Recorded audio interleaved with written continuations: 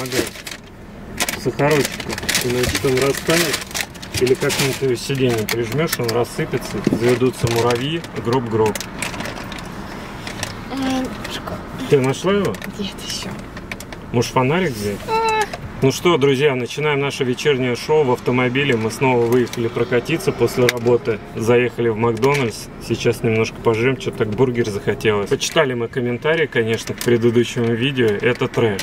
Энциклопедия русского ютуба называют. Столько говна, просто пипец. И про то, что у тебя бати нету, и про бесплодие. У меня есть батя. И, ну, понятно, просто люди пишут от незнания какого-то. То, что у нас все вообще не любовь и меркантильные отношения. Я не скажу, что мне обидно, потому что от этого ничего не поменяется. Хотим сыграть свадьбу. Я понимаю, что там не в меньшей степени, а вот девочкам это прям хочется. С самого детства, да? Конечно. Появится муж, Конечно. будет свадьба, гости, все это будет прикольно, какой-то праздник. Поэтому ну, я бы предложил, знаешь, не считать, наверное, деньги. Каждый тратит как хочет. Ну. Кто-то на бухло тратит, я, например, не. И чё? Мне что, критиковать э, всех Был алкоголиков? один блин? комментарий про то, что свадьба в 23-м году это колхоз. А мне интересно, это все вот эти вот блогеры-миллионники, которые играют свадьбы в том году, в этом году. Таких видео на ютубе очень много, я сама их смотрела, мне было интересно. Они все колхозники или что? Или откуда, вот не знаю, человек взял это мнение? Вот я считаю себя адекватным человеком. Да-да. Снимаю обычный контент, я с наггетсов начну. Никого не критикую, не навязываю свое мнение, и мне наоборот прилетает. Вот я адекватный, ты пидорас, ты олень, ты там то, ты там все, ты там пятое, ты десятое. А есть блогеры, которые свою аудиторию нахуй посылают, и они вот так вот просто Ой, какой ты классный! Ой, какой ты замечательный! Вот, казалось бы, реально, просто лицемерие у людей 99 уровня. Поэтому, друзья, мы все равно будем играть свадьбу. А я его облизывал вот эту штучку, если что. Ничего страшного. Будем играть свадьбу, нам этого хочется. Будет прикольно, Мгм. весело, задорно. Димка приедет, куча всяких родственников, молодежь. И мои Здорово. родственники никого не уговаривали. Это было чисто наше решение. Прежде всего, вот это от двух людей, которых Мгм. вы сейчас видите, исходит. И не надо додумывать. Хотя, вот, очень много у нас адекватных подписчиков, которые прекрасно понимают и сейчас напишут, да не обращайте внимания, это там вообще люди... Не, насчет хейтеров, на самом деле, очень много таких подписчиков, наверное, не знаю, хейтеров-трусишек, которые боятся написать первое, но если они видят, что какой-то человек, хейтер, высказывает свое мнение, то они в комментарии начинают его поддерживать, там прям вообще просто такие дискуссии ведутся. А самое главное, пишут на ютубе, потому что все это безнаказанно, можно забанить, а они без аватарки, без имени. Вконтакте вот и в телеге не позволяют себе этого писать, потому что ты сразу можешь ёбнуть его, и он никогда не увидит твой контент от слова совсем. Ему Мгм. придется заводить новый аккаунт. То есть я нормально, кстати, к аргументации какой-то обоснованной. мгм. Я Ну, тоже тут- к этому нормально отношусь. Не знаю, если бы я увидел пару, которая мне приятна, которые хотят сыграть свадьбу, ну, я бы только, наверное, порадовался. Просто столько грязи налили. Я офигею, особенно касаемо денег. Надо было так, сяк делать. Я Мне кажется, вот человек волен сам выбирать, как ему бабки тратить. Я за всю свою жизнь написала на ютубе, ну вообще на всех вообще площадках, раза два комментарии. И то, когда мне очень сильно понравилось видео, и я решила как-то, ну там, поддержать создателя, автора этого видео. Все. Я ни разу, вот честно, ни разу не написала плохого комментария, какого-то язвительного. Даже если я смотрю кого-то, вижу, что там какой-то трэш происходит. У нас нет трэша, но кто-то снимает реальный трэш. Я никогда не писала ему комментарий, что да ты такой козел, ты Не, вообще говно». если человек не посмотрел видео и зайдет в наши комментарии к последнему ролику, он наоборот подумает, что там трэш какой-то творится. И мы какие-то неформалы с тобой, которые Мгм. вообще какую-то дичь творят, и мне там сто лет, Ну да. тебе 20. И мы такие, типа, давай свадьбу сыграем. Ну так вот. Да. Ну, приятного аппетита, если кто-то есть вместе с нами. Я понимаю, что, возможно, сейчас влоги не такие интересные, потому что формат в основном что-то в машине снимаем. Так получается. Никуда не ходим, все деньги на свадьбу копим. Но я думаю, все равно интересно вот так мысленно поделюсь. Как, как стрим, можно сказать. Ну, я на следующей неделе, допустим, поеду на девичник своей подружки в Брянск. Вот, так что, возможно, тоже запишу влог. Может быть, кому-то будет интересно. Еще посмотрел прикольный комментарий был по поводу того, что у Кати нет образования, она собирается рожать. Так вот, что я хочу сказать, что Катюха на самом деле ну, сейчас э, изучает всякие моменты, полезные для своей жизни. И я считаю, что быть образованным и человек, который уже с образованием, это две больших разницы. Потому что есть э, люди с образованием, но Реально, просто у них в голове каша, и они ничего не знают. А есть люди, которые занимаются самообразованием, и у них, вот Тёма Лебедев, у него незаконченный институт, он проучился два или три года. У него даже корочки нет. Блин, его слушать одно удовольствие. Словарный запас, эрудиция. Это очень кайфово. Поэтому в современном мире получать образование, даже если ты черпаешь самостоятельно из книг, каких-то материалов, изучаешь, докапываешься, расширяешь свой словарный запас, это гораздо лучше, чем ты в институте, блин, оттарабанишь, получишь корочку, а у тебя, ну, реально, знаний просто ноль. Ты работаешь на какой-нибудь э, там нелюбимой работе за 50 тысяч рублей, и как бы все.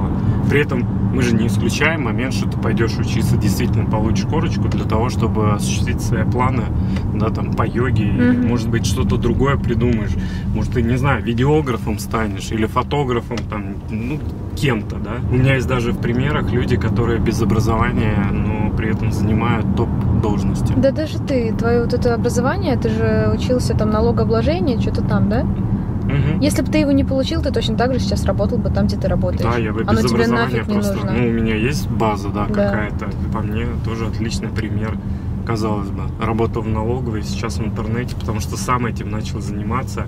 И Самоучка. первые как бы хорошие деньги я заработал самостоятельно. Создавал сайты, продавал. И никак это не связано с тем образованием, которое ты получал? Абсолютно, абсолютно. Угу. Вот. Поэтому, как бы, смотрите а сами. А если бы ты работал по образованию, ну, корочку, которую ты получил, тебя эта работа не устраивала, ты ее не любил, и доход тоже тебя не устраивал? Ну, что хотел сказать.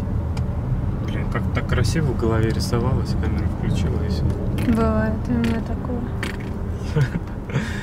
Вот я почему тебе не даю смотреть мои файлы, потому что чаще всего у меня начало такое же. Ребят, привет, и я... Э, Привет, реб... ребят, привет. И вот так вот я раз 15 могу повторить. Я думаю, сука, ну можно мне сказать, пожалуйста. А до этого, знаешь, перед тем, как включить камеру, я тоже себе там диалоги уже расписала, ну, монолог. Монолог расписала на 5 минут вперед. Сейчас, да-да-да. А потом ничего не получается.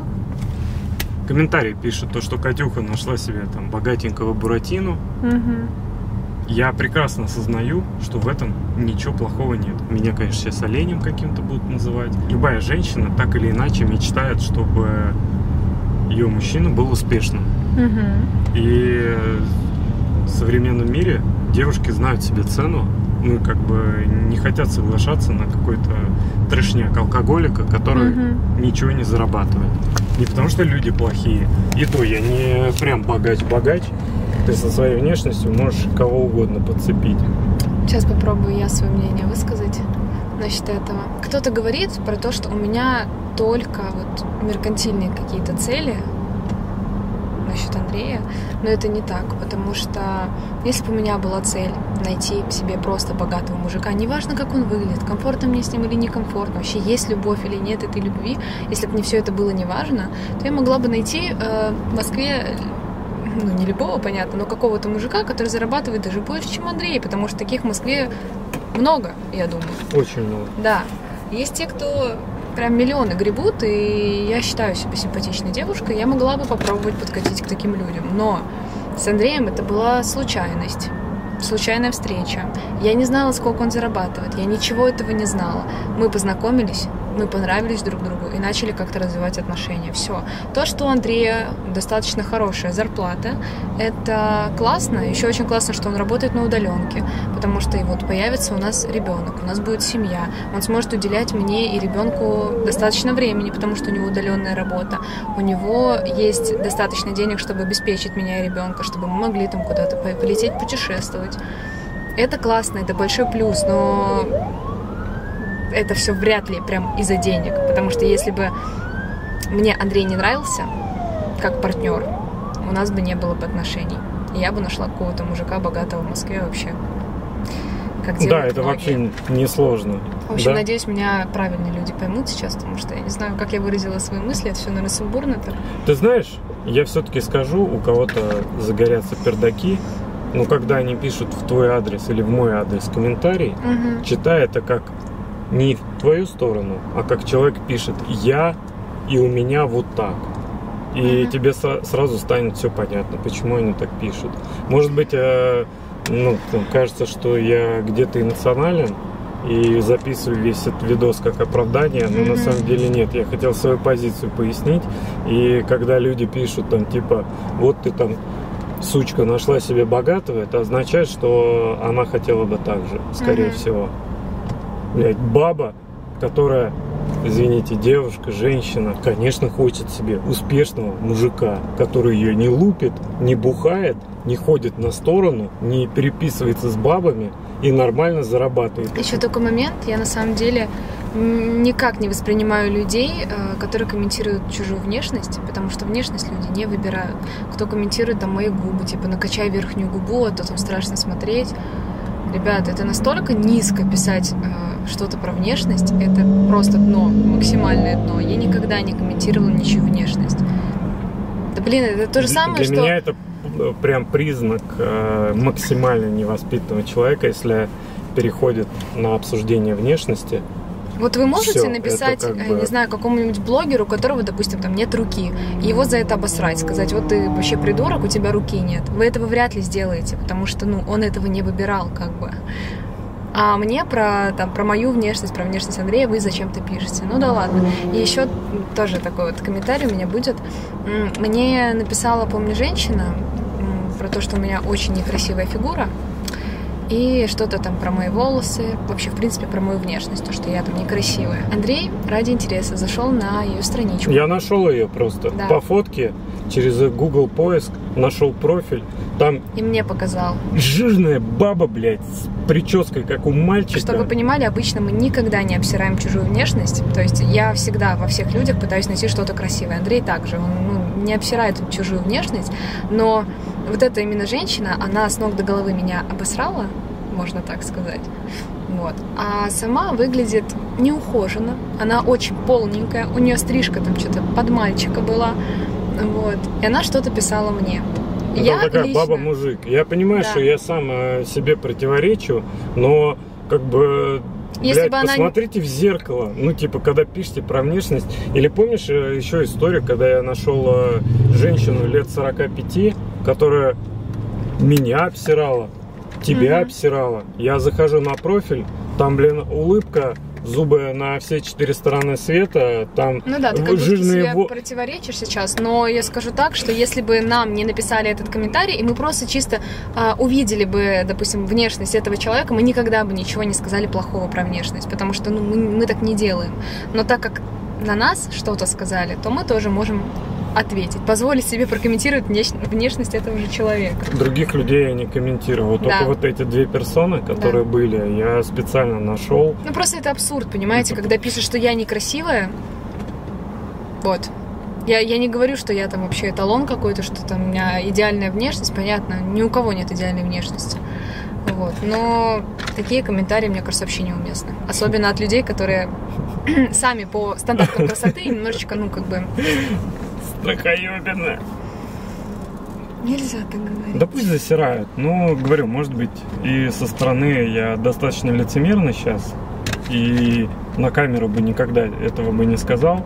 Но хочется просто вот э, примеры привести, Мгм. чтобы люди понимали мою позицию. Вообще, в целом, вот эти все истории про деньги, люди как бы просят, расскажи, расскажи, будь с нами откровенен. Я, блин, настолько откровенный. Вот реально, таких людей на ютубе не встретишь. Я, блядь, всю подноготную рассказываю.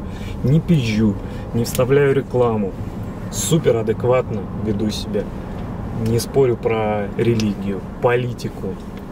Никого ничего не заставляю. В итоге я все время пидорас какой-то. И у меня от этого, не знаю, какие-то странные ощущения. Ч- чего вообще народ хочет? Ну, я уже приводил пример с трэш какими-то блогерами, которые там нахуй посылают свою аудиторию, а все им в рот смотрят. Мгм. Вот, я уже, конечно, повторяюсь. Ну, если как бы не близка позиция, ну, отпишитесь. Про Хотя, опять же, про те же э, сейчас извини, пожалуйста, про губы, про отписки тоже интересный случай. Чтобы вы понимали, когда вы пишете комментарии, я вижу, сколько подписано на канал по, По времени. времени. Да, то есть э, мне это все доступно, Ва- вам нет. И Можно когда я я вижу чувака, ну расскажи, да. В общем, под последним роликом был комментарий, я так над этим угорала. А, какой-то, наверное, это мужчина, написал то, что сколько вот лет смотрю а, Ежова, у него всегда видосы какие-то душные, ничего интересного, там аудиторию он не, не набирает, вообще видосы говно. Вопрос, чувак, лично к тебе обращаюсь. Зачем ты смотришь столько лет Ежова, если тебя, тебе он не нравится, если тебя бесит его ролики? Ты зачем себя мучаешь? Для чего? А самый прикол, там бейджик был подписан на канал 4 года. Это просто, блядь, я не понимаю. Ему нравится себя мучить, походу, я не знаю. Просто 4 года чувак упорно пишет, какой я гандон. Господи, Да. это просто ржака. Ну, может, и смысл И таких, кстати, много. Если честно говорить, меня в начале вот наших отношений с Андреем, когда мы только начали выпускать какие-то ролики, только на его тогда канал, меня, честно, напрягали некоторые комментарии. Мне, правда, было как-то обидно. А, Я их воспринимала близко к сердцу, особенно если были какие-то сравнения меня и там бывшей жены Андрея. Меня прям это очень сильно напрягало. Но сейчас я понимаю то, что адекватные люди никогда не пишут говно в комментариях. Адекватные люди могут максимум, если им там очень понравился контент, они могут там поставить лайк и написать то, что, блин, ребят, вы молодцы, круто. Но я, допустим, если смотрю какие-то ролики на ютубе, и там происходит трэш, мне что-то не нравится, и я считаю, что эти чуваки дебилы, и я бы так никогда не поступила, ну, как они, допустим, в этом ролике, я никогда не напишу им комментарий, что вы придурки, вы вообще творите какую-то хрень. Я так не напишу. Я просто закрою ролик и больше никогда не зайду на канал этого человека. Вот. И сейчас я это воспринимаю уже по-другому. Меня это так не обижает, как раньше. И я чаще даже смеюсь над такими комментариями. Это, конечно, энциклопедия русского ютуба. Да? Комментарии под моим последним роликом. Еще очень прикольный был, когда я в прошлой жизни iPhone дарил, и Мгм. там было в районе 4000 комментариев. Но там раза три мне смерти пожелали. Ну, из такого интересного. За что? Я просто, блядь, подарил телефон. За что, блядь? Ну, короче, если, говорю, последний посмотреть, там примерно то же самое. Ну, Как мне тратить деньги? Куда? Какой выбор я сделал? Мгм. Там правильный, неправильный. Про твою внешность, про э, то, что я олень, там э, погнался за молодой, который... На самом деле, просто вот, понимаете, мы снимаем ролики, вы не всю жизнь нашу видите, и Это правда. Катя, несмотря на то, что ей 20 лет, у нее очень взрослое мышление. Бывает такая категория людей, которые э, не соответствуют своему возрасту. То есть иногда я вижу дам, которым там по 35 лет, они умные в работе, начинаешь с ними про жизнь говорить, господи, ну там просто все очень плохо. И я наоборот считаю, что это очень круто, и мне повезло, что ты такая. Потому что в твоем возрасте я когда начинаю смотреть всякие вот эти тиктоки, девчонок, я думаю, господи Иисусе, ну нафиг. Да я То есть это деле- скорее исключение из правил, что у тебя такое мышление, и ты при этом игривая, ну, то есть э, за счет своего возраста, но при этом мысли у тебя достаточно взрослые насчет семьи, детей, воспитания. Вот э, ты смотришь все эти ролики, как правильно там воспитывать, на что обратить внимание, психологов и т.д. и т.п. Но большинство в твоем возрасте, они просто курят вейпы, одноразки, у них там, ну, вписки и вот это все. Ты сама организовываешь свадьбу, ты сама там Я занима- вспомнила. Занимаешься домом. Я кое-что вспомнила. А, Мы практически каждый день созваниваемся с моей подружкой, которая из Брянска тоже в Москву перебралась. У нее этим летом тоже свадьба, она выходит замуж. Вот. И в последнее время мы с ней общаемся, а мы с ней дружим лет, наверное, с 15-16, вот так. А, Раньше у нас были одни темы, сейчас другие. И вот в последнее время, как мы с ней общаемся, мы замечаем, что у нас, у нас разговоры, там, не знаю, она ко мне в гости иногда вот приезжает, она спрашивает меня потом по телефону, Катюха, что ты за крупу мне там варила? Какой там состав? Я говорю, ну, я туда там чечевицу кладу, там киноа, там бобы, еще что-то рассказываю. Она такая, а, прикольно, надо попробовать своему, типа, ну, почти муж уже, Дима, говорит, надо Диме попробовать приготовить. Вот. Или, допустим, я там сдаю анализы, она тоже сейчас ходит, сдает анализы, там как-то заботимся о своем здоровье. Я говорю, а вот этот там гормон у тебя сколько? Я говорю, а это завышено, это надо, короче, уже пропить, там витаминчики, вот это вот все исправить. И потом мы так акцентируем внимание, я говорю, Аня, вообще, как, когда все поменялось? Почему мы разговариваем про, про витамины, про здоровье, про еду э, и про быт? Потому что раньше наши разговоры были типа, ну, лет там 15-16, алло, привет, пошли на курган погуляем, погнали в кальянку. Все, вот-вот, наши такие были разговоры. И буквально прошло несколько лет, и мы разговариваем совершенно о другом. Вот прям резко все так изменилось. Резко повзрослела в Сочи, на самом деле, потому что я там жила одна, и было очень сложно. Я вот прям, знаете, из родительского гнезда так улетела и ощутила всю вот эту вот сложность бытия, потому что мне нужно было одной там как-то зарабатывать, снимать квартиру, еще при этом я на заочке училась, и я тогда уже резко поменялась и поняла, что хихоньки-хахоньки как бы не всегда уместны, то что нужно как-то жить жизнь. Ну и если подытожить, я наоборот рад, что ты не бухаешь, не гулена, у тебя нормально. Спасибо. Там на цветочки предлагают. Понятно. А, и, соответственно, то, что у тебя мышление такое нормальное, здоровое. Ну, я не зануда. Я люблю погулять там в каких-то компаниях. И вот, допустим, недавно мы к подруге, к моей ездили на день рождения, были на природе, а, жарили шашлыки, там были батуты, знаете, такие именно как круглые черные. Вот мы на них там прыгали, мы играли в волейбол. В общем, я люблю такие вот компании, Блин, веселушки. Я столько там смеялся, что да. на следующий день... Э, То знаешь, когда душнилы, дол- на самом деле. долго смеешься, у тебя как будто горло болит. Да. На следующий день ты ну, сиплый становишься. Я над Димоном угораю. Господи. Когда мяч играли. Когда волейбол играли. Там просто чувак напился. И да, очень весело было. Ну да, такой под шофе был. Я ему подавал мяч постоянно постоянно его гонял, просто ржал. Я помню то, что он мяч, он мяч словил, сам не понял, как это произошло, потому что у него так, ну, голова, походу, кружится. Он словил мяч, и у него глаза вот так вот в кучу. Он смотрит на этот мяч вот так вот, не понимает, что происходит. Да, было смешно. В общем, прикольный был день. Короче, что я хотела сказать. Мы не зануды, мы не душнилы, мы любим веселиться. Мы не против знакомств, не против э, друзей, каких-то таких вот тусовок иногда где-то там за городом. Единственное, Андрей ненавидит клубы. Он не понимает этого, потому что он не пьет сейчас вообще алкоголь. И в клубах ему, ему хочется, чтобы можно было поговорить, чтобы не орала так громко музыка. Просто вот мы на колонке тогда на природе включили музыку, можно и попеть, и потанцевать, и поговорить при этом. Вот, и такой отдых ему нравится. И пожрать. И пожрать, да. Ну да, а то мы когда вот у тебя на день рождения были. Фабрику, да. Мы Блин, сидим за столом. Вот, что? А? Что? Все хотели как-то поговорить, но музыка настолько громко хреначила, что мы постоянно вот так вот друг другу просто на ухо уже орали. В клуб, если идти, то это просто вот напиться и танцевать. Все, там не поболтать ничего, никакой, никакого атмосферного отдыха там нет, к сожалению. Или к счастью. Вот, поэтому если мы хотим, допустим, куда-то, там, не знаю, встретиться с э, какими-то людьми, отдохнуть, там, потусоваться, то можно вот так поехать за город. Мне понравилось.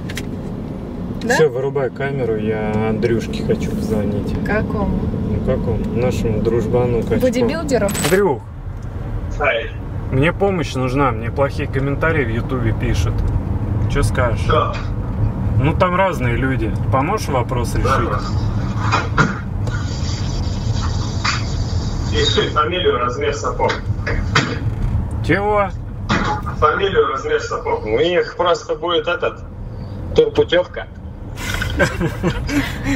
Оформлено в лес.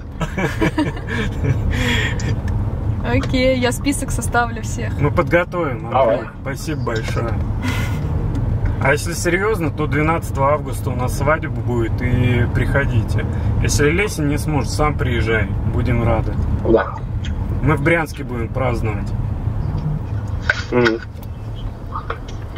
Напиться мне предлагаешь? О, пришла. Привет. Привет. Привет. Теперь будешь смотреть влоги, себя увидишь.